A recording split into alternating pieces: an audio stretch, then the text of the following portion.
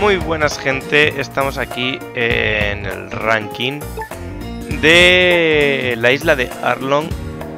Eh, otro ranking de estos toca narices de llevar poco coste y hacer todo perfect. A ser posible también matando todo de un golpe, metido un par de fighters eh, azules como pueden ser el Sanji de toda la vida, Gedatsu que es el de modo historia, que ahora con los frame points seguramente haya caído alguno, alguno de vosotros.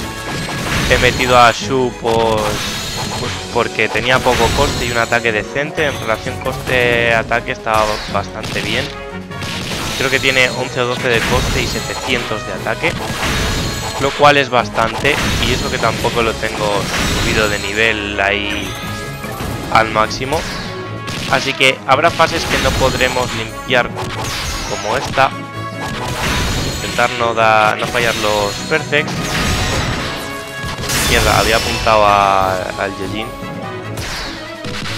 Eh, a Arlon con este equipo en concreto yo diría que no lo matamos de de un golpe, o sea, prácticamente yo creo que con ninguno así de poco coste podéis llevar un Cavendish amigo, lo he probado yo antes, pero os quedan muchísimos, muchísimos puntos si lleváis a Cavendish porque tiene un coste altísimo y no llegáis. Así que si queréis probarlo, pues perfecto, vais a perder 15 de estamina.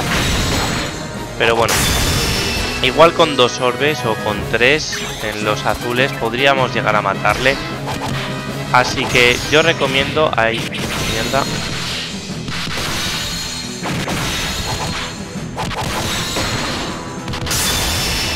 Pues a lo mejor sí con dos orbes con este equipo lo matamos. Tener más de 5000 de vida es obligatorio porque prácticamente sí o sí te vas a comer una leche de Arlong. Así que si tienes 5000 de vida, pues muchísimo, muchísimo mejor.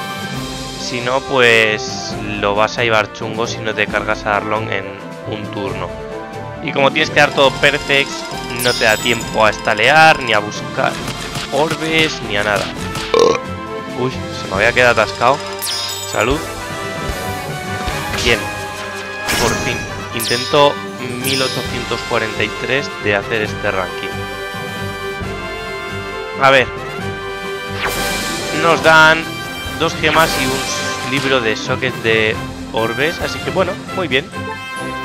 Es complicadillo, ¿eh? Hay que admitirlo. Un saludo, chavales.